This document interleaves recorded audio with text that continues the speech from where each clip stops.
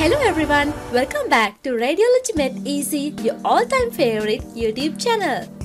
Let's see today's case. So, this is the image of today's case. First, go through it and come to your own diagnosis.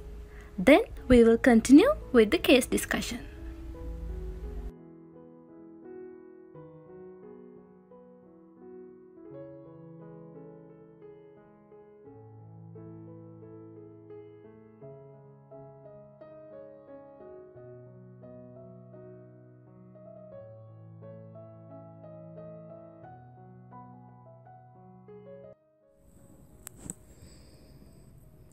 Hi, welcome back everyone. Now we are going to discuss case number 19 in GIT contrast studies. Today our patient is a 6 year old boy presented with sudden onset severe epigastric pain and intractable retching. So this is the anteroposterior spot radiograph of the barium upper GI contrast study series. So here there are some abnormalities you can see. This is the there's a rounded opacity or opacified structure in within the right lung. So likely this is likely the stomach. This is the gastroesophageal junction. You don't see the stomach at the normal position under the left hemidiaphragm. And this is the gastroduodenal junction. It is however at a lower position than the gastroesophageal junction. And apart from that the greater curvature here is on the, the right side the lesser curvature on left side. So there's 180 degrees twisting of the stomach.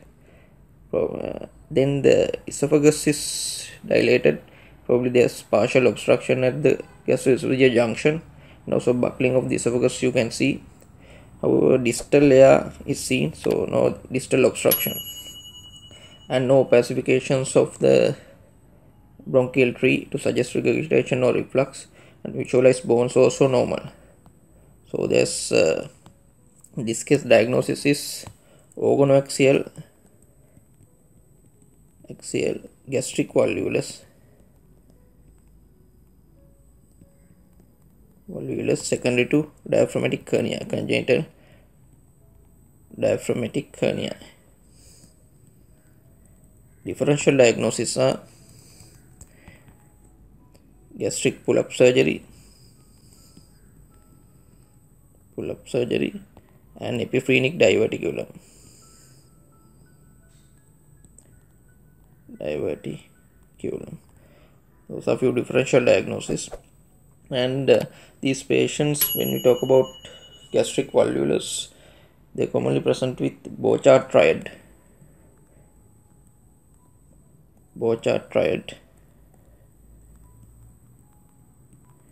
Triad there there's sudden onset severe epigastric pain intractable retching without vomiting and difficulty in passing NG tubes those are the features of Borchardt triad. It is commonly seen in organoaxial gastric volvulus. And apart from that, organoaxial gastric volvulus commonly seen in adults and mesenteroaxial seen commonly seen in children. And organoaxial gastric volvulus, there's rotation around the along the long axis in the cardiopyloric line. And mesenteroaxial volvulus, there's rotation twisting of the stomach on the short axis perpendicular to cardiopyloric line and uh, in that case mesenteric volvulus the entrament pylorus will be above the level of gastroesophageal junction.